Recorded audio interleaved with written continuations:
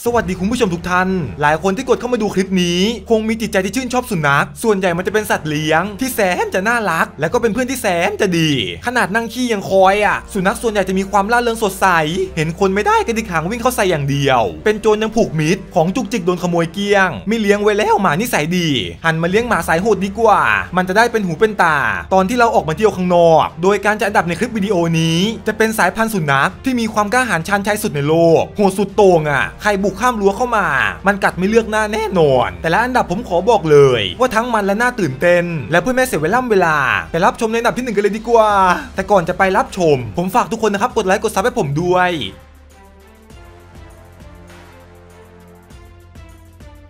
สุนัขกล้าหาญชาญชัยในอันดับที่ 1 สายพันธุ์เบลเยียม Malinois เบลเยียมมารีนอย มันมีถิ่นกำเนิดจากประเทศเบลเยียม ก็ตรงตามชื่อเป๊ะเลย ในช่วงศตวรรษที่ 19 โดยมันถูกเพาะพันธุ์ขึ้น เพื่อใช้ต้อนฝูงสัตว์ มันมีความฉลาด สอนแป๊บเดียวเจ้านายสบาย แต่พอการเวลาผ่านไป สุนัขสายพันธุ์เบลเยียม มันถูกใช้เป็นหมานำทาง ตรวจหายาเสพติด วัตถุระเบิด เหมือนหมาเคนายอะที่เป็นสุนัขตำรวจ รวมไปถึงกองกำลังทหาร หน่วยสืบราชการลับ มันถูกฝึกหัดมาเป็นอย่างดี เพราะด้วยรูปร่างที่สันทัด สง่างามดูแข็งแกร่ง มีความบึกบึนไหล่เป็นไหล่เอวเป็นเอวตูดเป็นตูดมีความกระตือรือร้นที่สูง ตื่นตัวอยู่ตลอดเวลา ขนาดแมงวันบินมา ยังลืมตาไม่ยอมหลับ เป็นสุนัขสายพันธุ์ดีดสัดส่วนสูงประมาณ 60%น้ำหนัก 20กิโล โอ้โห ดูโก้มากเลย ถึงแม้ขนาดตัวมันจะไม่เล็กเท่าแมว แต่มันสามารถทำท่ายากได้ กระโดดปีนป่ายเหินเวหากาอากาศพังอาจคอเข้าไปคว้าลูกบอล ฉากนี้โคตรเท มันต้องอาศัยการฝึกฝนที่ดี และบวกความกล้าหาญ ถ้าใจไม่ถึงจริงจะทำไม่ได้เด้อท่านี้ สุนัขกล้าหาญชันชัยในอันดับที่ 2 สายพันธุ์อากิตา สุนัขสายพันธุ์นี้เป็นสายพันธุ์ทรงพลังของญี่ปุ่น มันดูอ่อนโยนเนาะท่าทางไม่ค่อยโหดเลย ตอนแรกผมก็คิดงี้แหละ แต่พอฟังไปแล้วต้องเปลี่ยนใจ เพราะขนาดตัวมันใหญ่ และใจมันก็ถึงจริง ๆ จุดเด่นอย่างแรกก็คือ อายุมันยาวนานถึง 15 ปี มากกว่านั้นก็เคยมี ดูทรงมันสิยืนอย่างองอาจ มีขนาดล่ำกล้ามใหญ่ นิสัยจงรักภักดี แต่พอเจอคนแปลกหน้าที ต้องวิ่งหนีกันป่าลาบ ด้วยความสูง 50-60 เซน น้ำหนักประมาณ 36 โล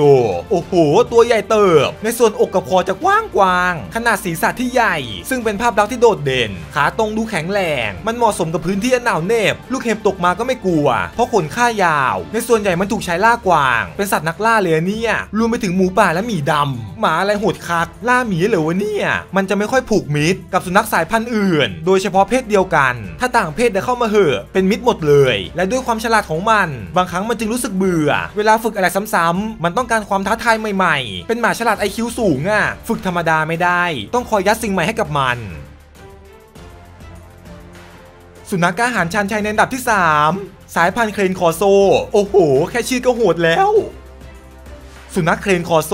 ชื่อมันก็บ่งบอกแล้วว่า ว่าต้องล่ามโซ่ตลอดเวลา เป็นยักษ์ใหญ่ที่จิตใจดี สายพันธุ์พื้นเมืองของอิตาลี มันมีความซื่อสัตย์ต่อเจ้านายอย่างมาก จงรักภักดีสุดๆ มันเป็นสุนัขโครงสร้างใหญ่ เมื่อมันโตเต็มที่ มันสูงประมาณ 80 เซน แบบไม่ได้ขย่งขาเด้อ น้ำหนัก 45 กิโล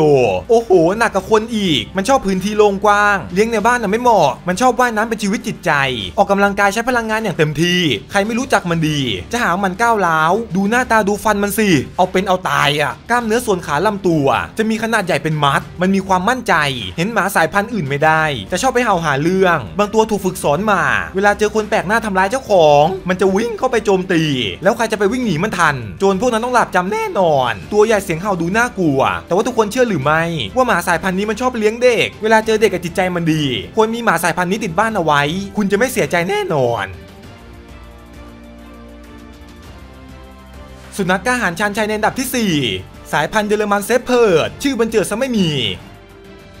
เยอรมันเชพเพิร์ดหรือเป็นที่รู้จักกันดี ในชื่ออัลเซเชียน เป็นสุนัขสายพันธุ์ขนาดใหญ่ มีถิ่นกำเนิดมาจากประเทศเยอรมนี ส่วนใหญ่ใช้ต้อนแกะเนื่องจากมีความแข็งแรง ฉลาดฝึกสอนง่าย มันถูกฝึกให้ช่วยหน่วยงานตำรวจ รวมไปถึงทหารทั่วโลก เหมือนหน่วย K9 อะ มันดูเท่ๆ มันจะมีขนาดความสูงประมาณ 60 เซน น้ำหนัก 20-40 โล โอ้โห ตัวใหญ่เติบชะย่อยเนี่ย หน้าผากจะเป็นรูปโดม จมูกและปากเป็นทรงสี่เหลี่ยม ขากรรไกรมันโคตรจะแข็งแรง ใบหูขนาดใหญ่เด่นชัด และทุกคนทราบหรือไม่ ว่าเจ้าเยอรมันเชพเพิร์ดมันคือหมาที่มีความฉลาดฉลาด เป็นอันดับ 2 ของโลกรองมาจากพุดเดิลมันมีความกระตือรือร้นที่สูง มั่นใจในตัวเอง ใครเข้ามาทำร้ายเจ้านายนะขย้ำไม่เหลือซากสุดยอดหมาซื่อสัตย์แห่งปีสุนัขกล้าหาญชันชัยในอันดับที่ 5 สายพันธุ์โดเบอร์แมน สุนัขสายพันธุ์ในอันดับนี้ เป็นสายพันธุ์ที่ทรงพลัง กระตือรือร้น มันชอบออกกำลังกาย กว่าหมาสายพันธุ์อื่นเยอะเลย ออกแต่ละทีโคตรจะนาน ก็ผมเหนื่อยยากกับเจ้านาย จุดเด่นมันคือความเฟี้ยว ร่างกายดูคล่องแคล่วลำตัวจะออกสียาวๆ ส่วนสูงประมาณ 70 เซน ถือว่าเป็นสายพันธุ์ที่สูงมาก น้ำหนัก 40กิโล ขนมันจะสั้น ถ้าเราสังเกต ส่วนใหญ่สายพันธุ์นี้ไม่มีหาง เพราะถูกตัดออกนั่นเอง เพื่อความเฟี้ยวฟ้ามะพร้าวแก้ว นิสัยหลักมันเลย มันรักเจ้านาย ปฏิบัติต่อเจ้าของอย่างดีอะ ใครกำลังมองหาหมาอยู่ จัดเลยอ้ยสายพันธุ์นี้ พอซูมเข้าไปดูไกลขึ้น หน้าตามันออกแนวน่ากลัว คล้ายกับหมาจู่โจม หน้าตาดุดุหน่อย มันถือเป็นสายพันธุ์ที่อันตรายสำหรับผู้ร้ายอะ ความโหดไม่ต้องห่วง กัดทีขี้แตกชัวร์สังเกตฟันคู่หน้า ไอ้หยานึกว่าเสือดาว พวกมันสามารถสัมผัสได้ถึงสิ่งอันตราย และตอบสนองได้อย่างรวดเร็ว ประเมินสถานการณ์ได้อะ สุดยอดหมาไหมล่ะสุนัขกล้าหารชานชัยในอันดับที่ 6 สายพันธุ์พรีซาคานาริโอ ชื่ออย่างโก้อะ เป็นสายพันธุ์พื้นเพ ที่มาจากหมู่เกาะคานารีประเทศสเปนโครงสร้างมันใหญ่กำยำ หนักประมาณ 45 กิโล ส่วนสูง 60 กว่าเซน เวลามันอยู่ที่เกาะมันทำหน้าที่เป็นสุนัขเฝ้ายาม ใช้ต้อนฝูงวัวฝูงแกะ และที่สำคัญเลย ใช้ไล่หมาป่าแถวนั้นด้วย มันช่วยคนได้หลายอย่าง ร่างกายแข็งแกร่ง ปราดเปรี่ยว และกล้าหาญชาญชัย ใครเห็นแล้วถูกใจ ตัวหนึ่งประมาณ 30,000ถึง50,000 ราคาก็แพงเติบ ส่วนหัวมันจะใหญ่หน่อย หูสั้นลำคอโต เหมือนทรงนักเล่นกล้ามอะ และขากรรไกรของหมาสายพันธุ์นี้ มันทรงพลังโคตรๆผิวหนังมันจะหยาบขนสั้นเตียน อารมณ์มันฉุนเฉียว เวลามันกระโจมใส่ที คนดึงแทบเอาไม่อยู่ สายพันธุ์นี้ไม่เคยกลัวอะไรเลย มันจะวิ่งเข้าใส่อย่างเดียว เสียงเห่านึกว่าเสือ ใหญ่โตทูโทนมากงงงงง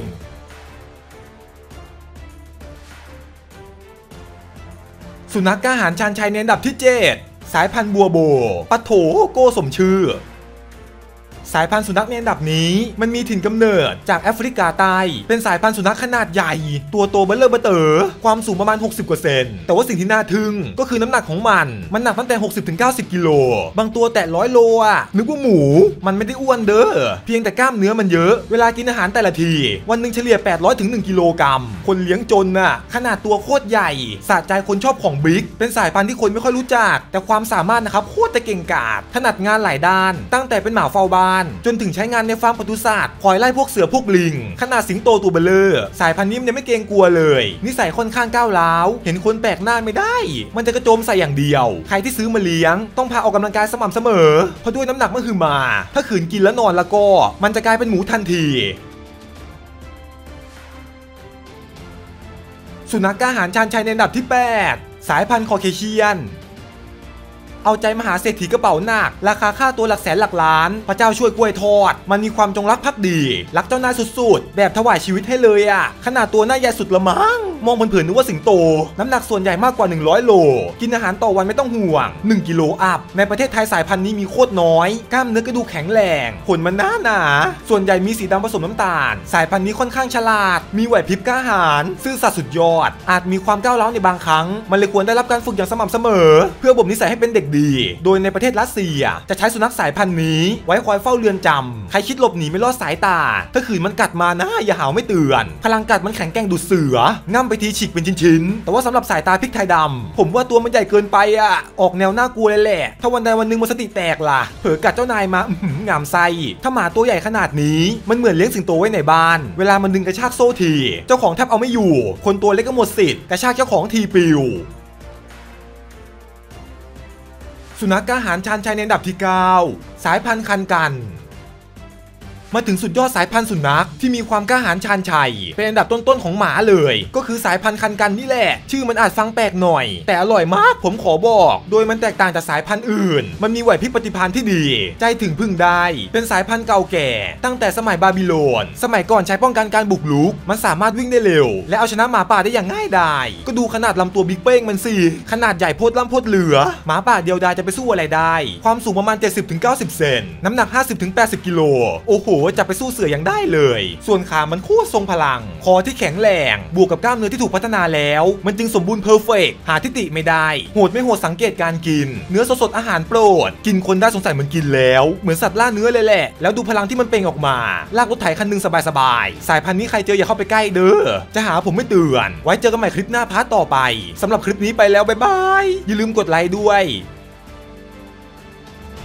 ทุกคนนะครับสามารถรับชมคลิปเก่าไว้ทางนี้เลยกดเลยกดเลย